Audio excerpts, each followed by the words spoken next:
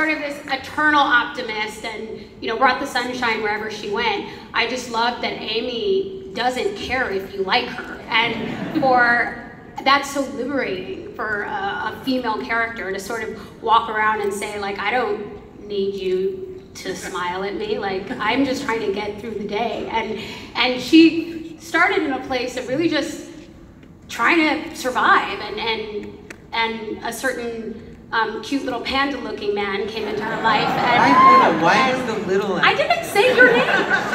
You're assuming I was talking about you. also did this to me. Oh my god. Um, and all of a sudden, like ideas of you know wanting more from her life um, started to pop up, and and we talked about you know how that would play in, and uh, it is Jonah who kind of uh, encourages her to, to start thinking about what else there would be. But of course, in Superstore fashion, for her to ask for that step up and power is going to come with all of the crazy challenges of, of, of having to um, manage people that she's had these long time relationships with. It, it's a bumpy ride, but but nonetheless, I mean, ultimately, she's a little more compl- com- competent than Glenn, I would say, right?